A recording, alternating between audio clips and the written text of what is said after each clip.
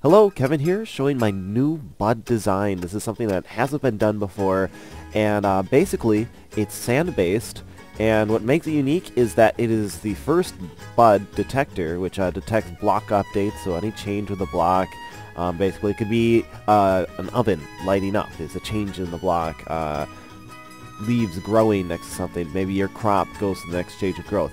You can do a lot of things with buds that are very interesting. Um, search for the bud topic. But this bud detector has five sides that can be interacted with. And so I can, when I place this, you can see that the piston activates. And what it's doing is, uh, this block has the output signal, and the torch is this there, so it's easy to see. But that inversion is just showing that every time that there is a block change next to the piston, it causes a change here. And so the application of this piston being here is that you can actually hide this very well, very nicely into the ceiling. Or not hide it, but it's uh, it looks much nicer than this and a bunch of pistons being sideways. It just is a nice inlet up in your ceiling in case you wanted something interacted um, with your ceiling, such as a tree farm, which I'll demonstrate later in this video. To some effect. And let me show you how the circuitry works here. It's really simple. Most buds aren't that complex. It just seems like it is. Uh, but it... Okay. Uh, there's these two repeaters here that feed into here. And this works off a little bug. The bug is this wire, since it's um, isolated, it points in all directions. But this redstone wire can power into this block here. And if it block powers into the block two above a piston, it can activate the piston. But only when there is a block update next to the piston. And so that's what's happening. The block update happens, this powers the piston, and the piston pushes the sand block up. When it pushes that sand block up, that sand block ends up being here, which this repeater powers the block. When the power's block when the block is powered by the repeater, it then acts as a power source itself, powers this wire which is our output. And that output is just signaled by the torch there for easy viewing from down there. This also feeds into the block here, and this acts as an inverter to, um, this is the power that does both of the um, powering of the block and the powering of the piston, but we want them both to turn off at the same time, just about, and that's what this does. When that sends a signal out, it also sends an, a turn-off signal for the piston so that it drops the sand and resets the whole bud switch. So this isn't the fastest bud switch, but it is a bud switch that uses sand, and it's the first bud switch that I know of, um, besides ones that use uh, multiple pistons, that uses a single normal piston to do a bud switch. So that's really nice for people who can't find slimes very often. Me, I've never, I've fought three slimes my whole time playing Minecraft, and every time I killed them I didn't get any slime. I'm very disappointed in that. Alright, but there's you can slightly modify this for another bud design. This is using a sticky piston, it's hard to see, and just a normal block, and whereas... Alright, this needs the repeater set to 4 ticks.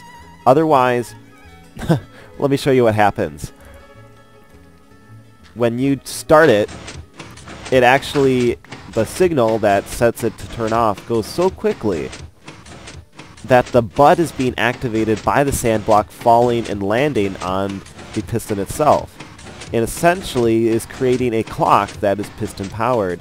And if you compare that to this 5 clock, which is your fastest uh, redstone clock, it's actually just slightly faster than that, which I find interesting. And you can tell that too because you can hear the torch here that's just kind of buzzing out, it's sizzling out repeatedly. Um, but by creating that four tick delay, or you can actually get away with a three tick delay on one of the four, you can fix that. This uses a sticky piston and a normal block, and you have these both sit at one tick. And you want them that way. And now this is works much quicker than the sand-based normal piston one. Uh, but of course it requires a sticky piston. And again, this is the five faces, which makes it very nice, very unique. And it works by a very similar principle, uh, essentially the same principle. And the circuitry, as you can see, is all the same. I have the red, the yellow, and the blue here, just to show the blue is kind of the out output and it feeds back into here. The yellow is the constant power that's waiting to go in to power the block. The red is the block that's, this is going to power the piston itself. Alright, so here we're going to see an application. This is our tree farm. Uh, the tree is being lit by glowstone. And this rain is there to force the tree to grow tall. Because if it grew too short, it wouldn't touch the ceiling. And um, when it touches the ceiling, it hits that piston and it activates, well, in theory. And uh, when it does that, I have it set up with a sand block here just because I think the sand um, powered piston is unique. This is a setup that's mirrored from that one. I mirrored it just to show that it, it doesn't matter which way you do it.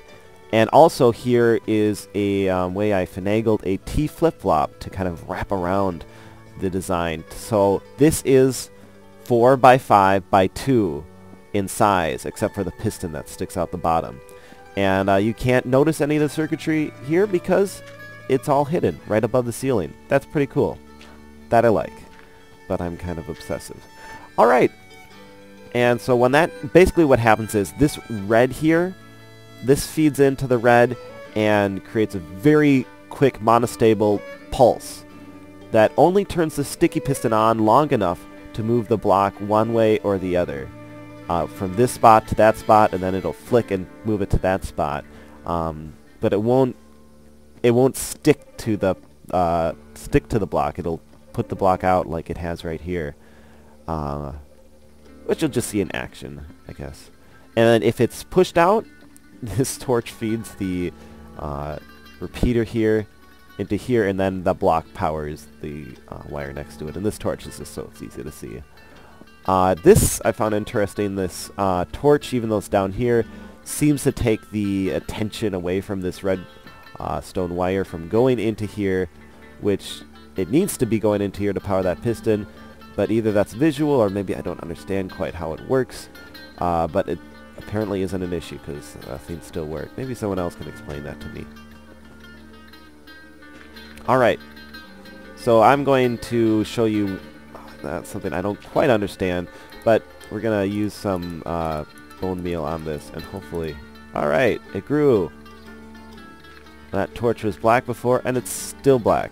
Now this is, uh, here, this should be a block update. The leaves are clearly touching the ceiling, and I don't really know why it doesn't update. I wonder if I let it grow naturally, if it would update, and if it works at all as far as pistons detecting. But watch this. Well, as soon as I destroy the leaf, that is counted as a block update, and the torch turns on. And you can see that the sticky piston this time brought it brought the piston back down there. So that's that. I I would I'm not sure if the bud works with uh, detecting when a tree grows or not, I or if it's just the use of bone meal that bone meal that tricks it up. Uh, but one little trick here, because it's on the ceiling, because you're using the bottom, you can actually toggle that easily by just um, dropping a sand block. And basically, it just touches it just for a moment, and so it doesn't um, count as two changes in the state. Only one. And so now it toggled it off. You could toggle it on again. Uh, but besides that, I guess, glitch, within the glitch uh, of the tree not being detected, this is, this is what I had in mind when I designed this circuit.